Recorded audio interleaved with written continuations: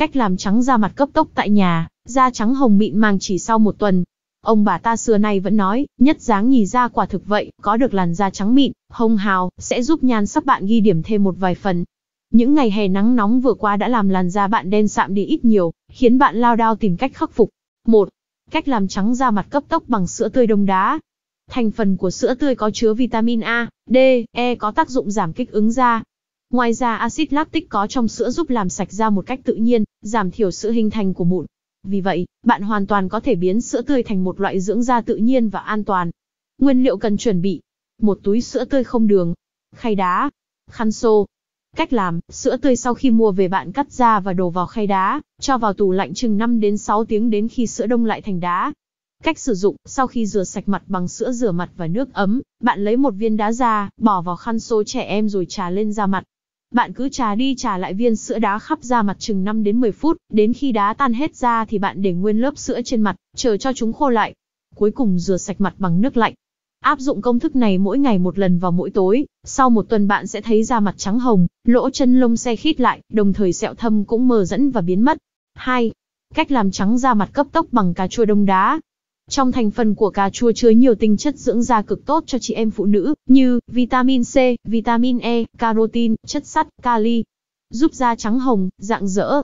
Nguyên liệu cần chuẩn bị: 3 quả cà chua, 5 viên nang vitamin E, một khay làm đá, khăn xô, máy xay sinh tố. Cách thực hiện: cà chua sau khi mua về đem rửa sạch, rồi ngâm trong nước muối pha loãng chừng 15 phút nhằm loại bỏ độc tố, các chất hóa học. Sau đó, bổ cà chua thành những miếng nhỏ, bỏ hết hạt, rồi cho vào máy xay, xay nhuyễn khoảng 2 đến 3 phút. Dùng dây lọc, lọc lấy phần nước ép, loại bỏ bã, cho vào một chiếc bát. Trích lấy dịch bên trong 5 viên vitamin E đã chuẩn bị, bỏ lẫn vào bát nước ép cà chua ở trên, rồi dùng thìa khuấy đều tay đến khi thu được hỗn hợp đồng nhất. Sau đó đổ hỗn hợp vừa thu được vào khay đá, bỏ vào tủ khoảng 5 tiếng đến khi đông lại. Cuối cùng, khi đá đông lại bạn tách chúng ra khỏi khay, bỏ vào một túi zip và sử dụng dần. Cách sử dụng, rửa mặt sạch bằng sữa rửa mặt và nước ấm để loại bỏ hết bụi bẩn và tế bào chết.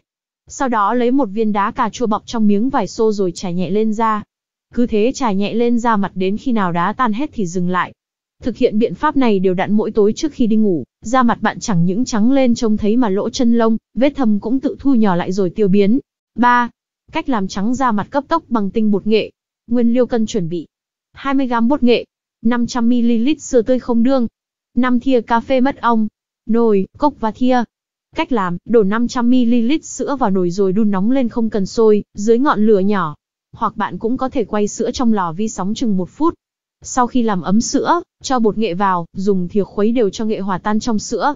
Cho mật ong vào khuấy đều đến khi thu được hỗn hợp đồng nhất thì tắt bếp. Đổ hỗn hợp ra cốc và sử dụng. Cách sử dụng, uống cốc nước hỗn hợp bột nghệ sữa tươi mật ong này mỗi tối trước khi đi ngủ. Sau 2 tuần da bạn căng mướt, sẹo thâm bị đẩy lùi, da trắng không tì vết. Bạn sẽ thấy làn da thay đổi một cách chóng mặt, mụn và vết thâm nhanh chóng biến mất, da trắng hồng mịn màng. 4.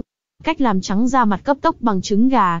Nguyên liệu cần chuẩn bị: một lòng đỏ trứng gà, hai viên vitamin E, bát và thìa.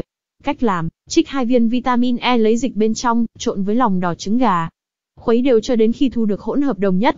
Cách sử dụng: rửa mặt sạch bằng nước ấm để lỗ chân lông và các tế bào giãn nở. Thoa hỗn hợp lên da mặt, mát xa nhẹ nhàng theo chiều kim đồng hồ trứng 3 đến 5 phút để hỗn hợp ngấm sâu vào da.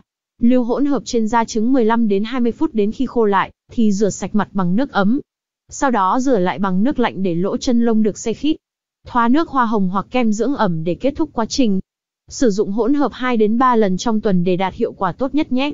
Sau 2 tuần bạn sẽ thấy da trắng lên vài tôn, mụn cũng dần biến mất. Với bốn cách làm trắng da mặt cấp tốc trên, chúc các bạn sẽ luôn xinh đẹp, dạng người.